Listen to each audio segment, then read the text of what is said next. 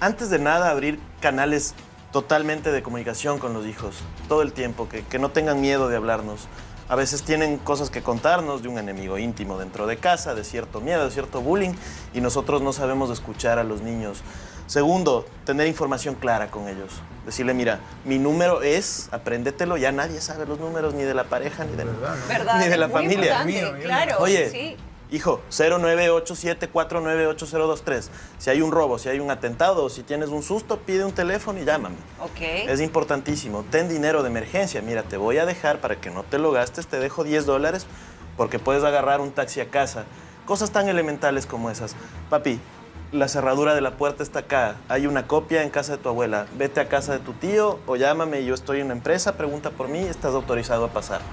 Ok, o sea, entiendo que es como prepararlos, pero sin producirles paranoia, ¿no? Sí. O sea, es como que, ok, en, cualquier momento puede pasar una situación así, tienes que estar preparado Así es. para cómo actuar, ¿verdad? Es, hijo, mira, va a haber un tema y te vas a paralizar tres segundos, vas a sentir miedo, es normal. Aprende a vivir con ese miedo. Guayaquil es una ciudad insegura, aprende a vivir con esto. Si ves una moto, métete a otro lado.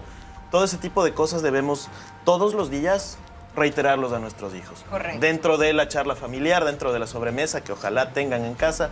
Mira, en Ecuador está pasando esto, están secuestrando todo el tiempo, a veces están interceptando blindados con traslado de valores, por favor, aléjate de un blindado si lo ves.